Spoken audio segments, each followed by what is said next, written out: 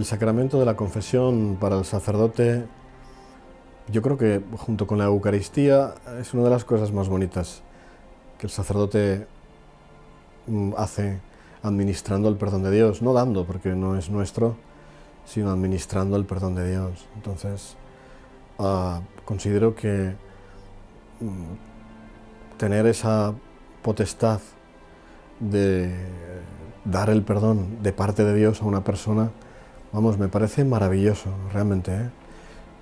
la confesión considero que es algo que por parte de los fieles hay que redescubrir permanentemente y sobre todo ponerlo en valor y, poner y, enmarcar y, hacer una interpretación correcta de lo que eso significa.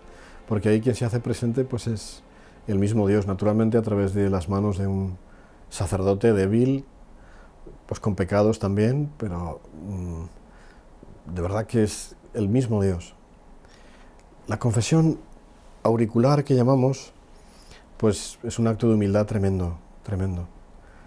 Y considero también que el sacramento de la confesión exige de nosotros pues mm, una buena formación, no una ligereza tampoco, porque eso no es bueno, mm, sino y después darle el sentido propio de lo que significa el pecado y el perdón.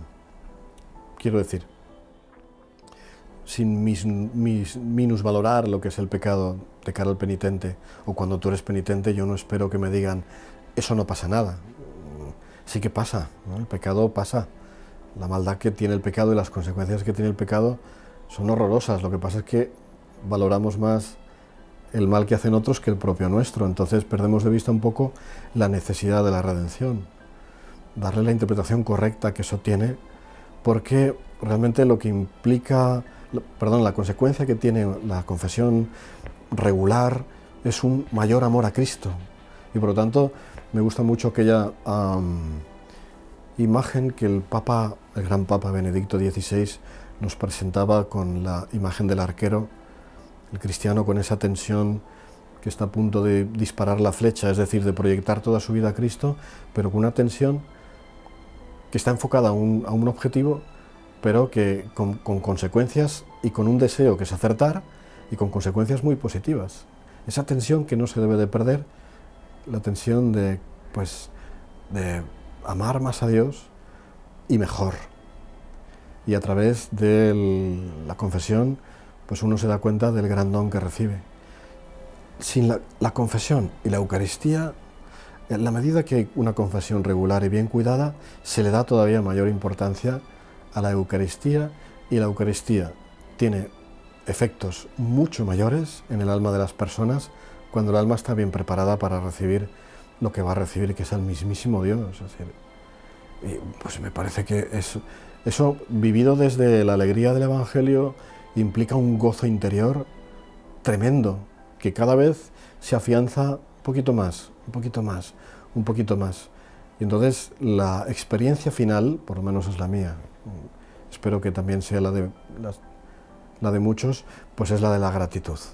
Es la de estar agradecido a Dios de manera permanente porque pues es un misterio también que te escoja, ¿verdad? Pues, y que te ame, no que te escoja solo para sacerdote, sino también que te ame de manera inmerecida. Me parece algo tan extraordinario, tan maravilloso que para redescubrir toda la belleza que eso es como poner en un, entiéndeme, es como poner en un bello paisaje luz, la luz del sol. Pues el paisaje estaba ahí, pero cuando pones la luz brillante del sol, quitando las nubes que lo tapan, pues hay una mayor riqueza de colores y de belleza en lo que se ve. Así me parece que la, el sacramento de la confesión pues tiene ese sentido. Y después también invitar a la gente, ¿eh? que no tengan miedo. ¿eh? A mí hay veces que me preguntan, padre, ¿Se acuerda de lo que le dije la última vez? Pues yo contesto la verdad, no. Pero no es porque sea un despistado, simplemente porque yo creo que Dios nos da esa, esa gracia de, pues no, de no acordarme, pues es que no me acuerdo, porque Dios nos da esa gracia, porque si me acordase, pues a lo mejor te vería por la calle y te estaría juzgando, pero en absoluto. Yo creo que eso no lo hace ningún sacerdote. Pensar en el otro con la persona que se ha confesado y decir, pues mira este o esta. Eso me parece, eso no pasa, de verdad. Así que animaros a cuidar bien el alma para que la Eucaristía cobre mayor sentido.